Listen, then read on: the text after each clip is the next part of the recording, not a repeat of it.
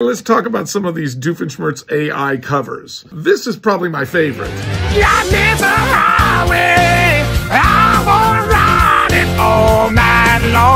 That's not me singing. That's just some computer that's heard me talk a lot. And then there's this. Don't you know I'm still standing But then it dissolves into gibberish. Looking like a turd malara? What is that?